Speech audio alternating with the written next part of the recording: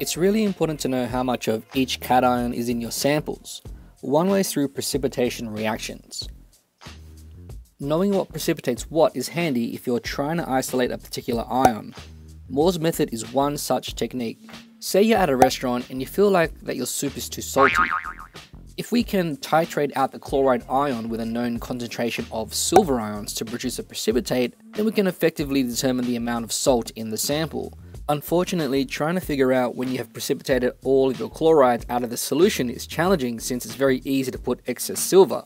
So to combat this, we also use chromate or thiocyanate ions to help us determine when the endpoint is reached because any excess silver ions will form a colored precipitate in comparison to the precipitate formed with the chloride ions.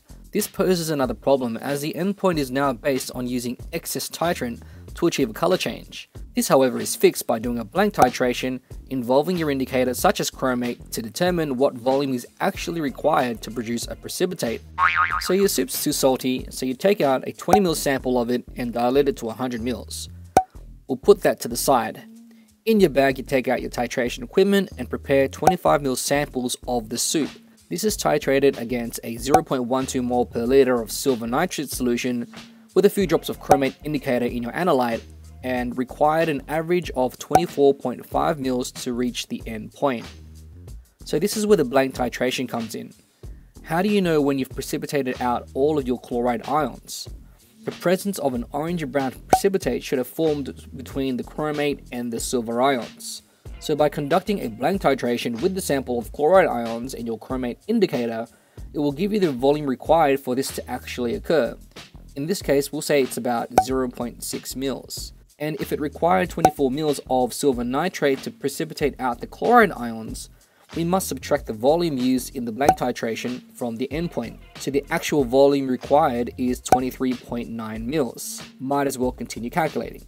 So the moles of precipitate produced uses N equals CV, volume times concentration giving us this, which is also the amount of silver ions used. Therefore, the moles of silver chloride produced is also this as it's in a 1 to 1 ratio. Now the actual moles in the original sample needs to be multiplied by 4 since we only use 25% of the original sample. And now we can convert the moles into mass, moles times molar mass, this is a mass. Now the original samples before dilution was 20 mils, so by dividing it by 0.02 liters will give it to us in grams per liter. I actually wouldn't know if the concentration is too salty for soup. It's worth noting that the pH of your sample should be between 6 to 9 because a higher pH may result in the precipitation of silver hydroxide. Lower pHs can also cause the protonation of chromate ions, leading to the formation of the weak acid chromic acid.